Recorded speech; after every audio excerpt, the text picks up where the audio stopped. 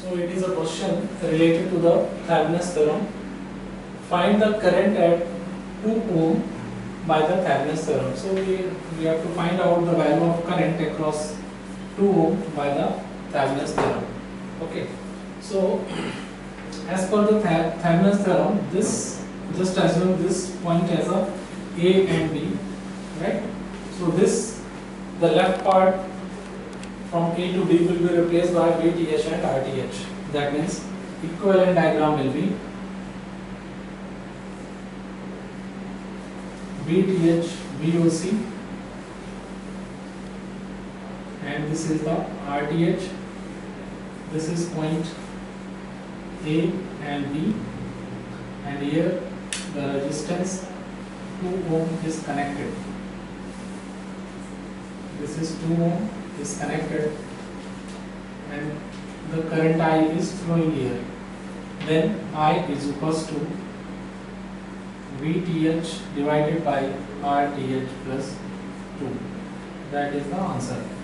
But we have to find the value of VTH and RTH first, right? So first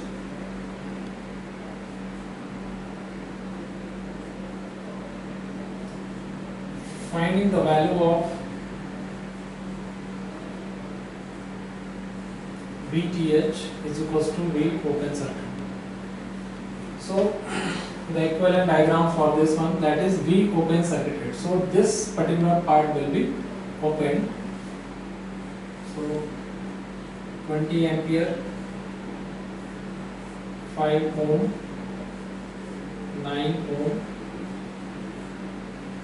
3 ohm, 6 ohm, 10 volts and this particular part will be open.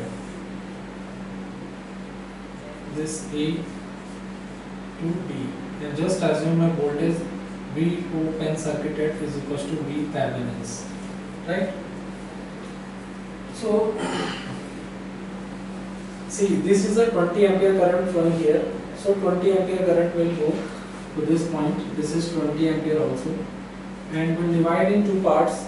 This one, this one and again the current will go to this point and this point.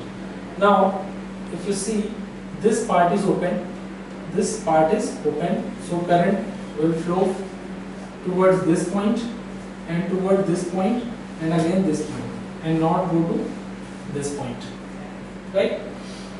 So overall current will this 20 ampere currents divide in this branch and this branch. So this branch become again 3 plus 6 is 9 and this is 9.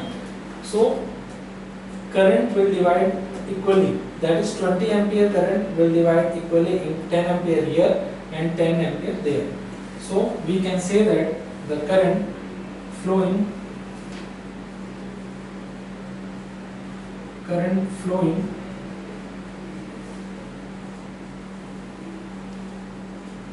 through 6 ohm is 10 ampere right? So the current in this branch will be the 10 ampere and also this branch will be the 10 ampere okay? Half half so then the voltage drop at this point will be this voltage drop will be the 60 this is plus and this is minus and current flowing through it is 6 into 10 so voltage about this point will be 60 volt right? And voltage drop is equals to 60 volt now just apply the just apply the KCL equation for this part this one so this is a minus this is a plus. So minus of 60 minus of 10 and minus of VOC is equals to 0 so we can say that VOC is equals to minus of 70 so this is a 10 10 ampere current flowing through it so the voltage drop across it will be the 60 now just take it as a positive in this direction positive in this direction negative in this direction. Then our equation become this one. So VOC will be the plus of 50 okay? This is the VOC and now second point so this is VOC is equals to 50 now second point now the second point for finding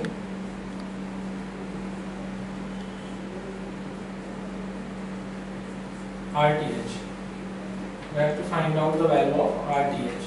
So the condition for RTH is just deactivate all the independent sources. So by activate, uh, deactivating this independent source, it become open, and by deactivating this independent source, it become short. So equivalent diagram will be this 20 ampere will be open 5 ohm, 3 ohm and this 10 volt will be shorted, this is 0.8 and after 5 ohm this is 9 ohm. And before 10 ohm it is 6 ohm. And this is the point B.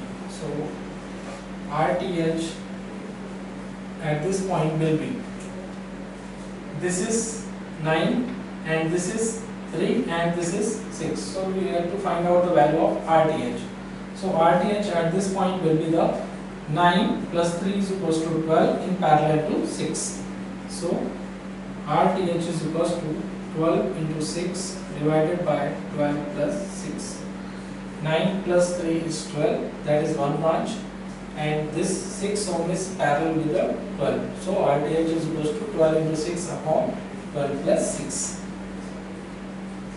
That is 72 upon 18.